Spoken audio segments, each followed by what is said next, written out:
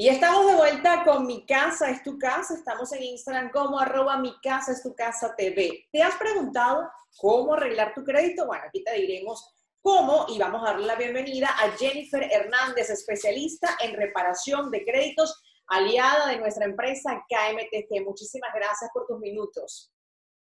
Hola, Kerly, ¿cómo estás? Muchas gracias por tenerme hoy.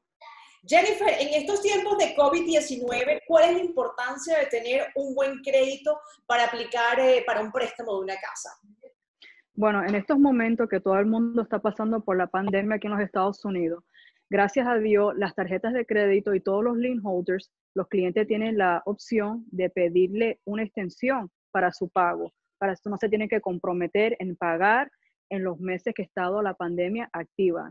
Los bancos le han dado una extensión a todos los clientes de 30 días, 60 días y hasta 90 días hemos visto, para que la persona se pueda organizar y recuperar económicamente en el problema de, la pandemia. Lo primero que me gustaría también explicarle a nuestro público, ¿qué es el puntaje de crédito? El puntaje de crédito es el historial que uno va creando con lo que se llama el FICO score. Uno empieza con cero cuando no tiene ninguna cuenta cuando uno va haciendo el crédito aquí en los Estados Unidos, uno va aumentando lo que es el historial del crédito a través de la edad del crédito, el límite del crédito, este, los balances, todo tiene diferentes eh, factores. El crédito es más como una fórmula.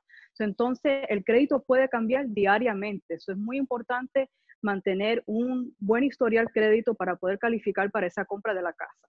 ¿Y qué es un credit score? ¿Cómo puedo hacer para, para repararlo?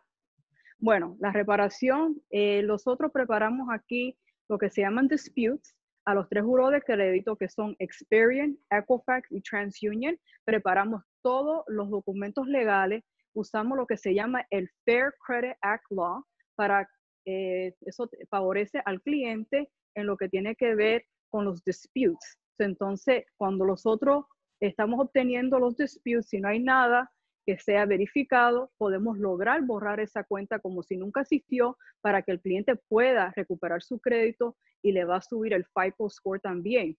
Es muy importante. ¿Cuántos puntos me bajan cada vez que hago un chequeo de mi crédito?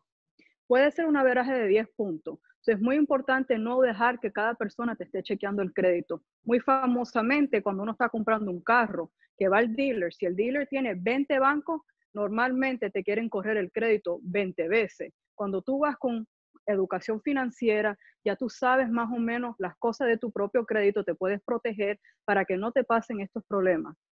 ¿Y dónde puedo yo verificar eh, sin que me afecte? En tu caso, por ejemplo, Jennifer, ¿qué herramientas utilizas?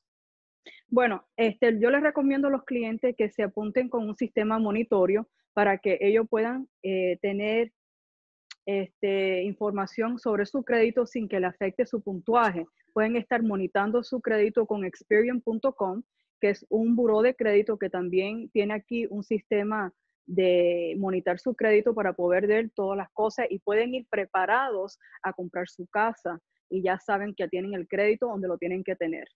¿Es bueno consolidar las cuentas? No, no lo recomiendo porque el cliente va a perder todo su crédito. Cuando uno hace eso, te cierran todas las cuentas, ellos empiezan a negociar con los bancos para bajar el balance, pero en ese trámite usted está perdiendo el crédito porque aparte de cerrarte las cuentas, ellos te están reportando tarde hasta que el banco eh, llega a algún acuerdo del balance nuevo. Entonces, no es recomendable. Y si soy nuevo en el país, ¿cómo construyo yo un buen crédito efectivamente? Bueno, hay diferentes fórmulas. Este, una de las fórmulas que tenemos aquí cuando el persona está nueva en este país, que no tiene ningún crédito establecido, tenemos una, un servicio que se llama Trade Lines. Prestamos el crédito por 60 días.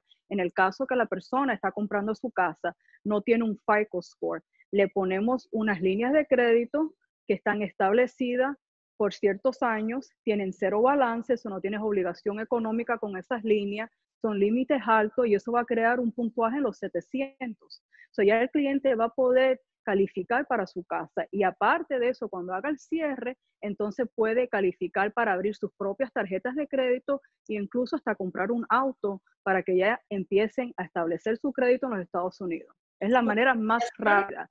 ¿Tus recomendaciones? Bueno, mi recomendación es, cuando uno está empezando su crédito aquí en los Estados Unidos, la primera regla es no pagar tarde. Este, los pagos mínimos están ahí por una razón.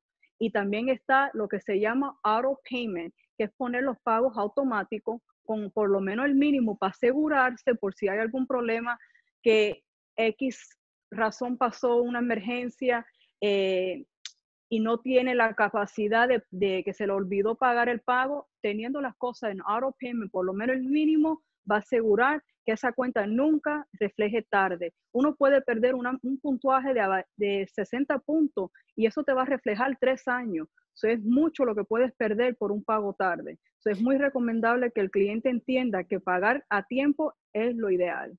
Jennifer, muchísimas gracias por todas tus recomendaciones y por tu tiempo.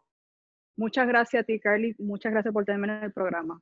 De esta manera despedimos el programa por la mañana de hoy. Nos vemos el próximo fin de semana por EBTV porque EBTV conecta contigo. Recuerden, nuestros aliados KMTG hacen posible que tengas la casa de tus sueños. Hasta la próxima oportunidad. Chao, chao. Bye, bye, gracias.